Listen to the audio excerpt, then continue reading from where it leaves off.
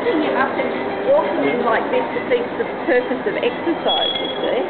He's gorgeous. What's his name?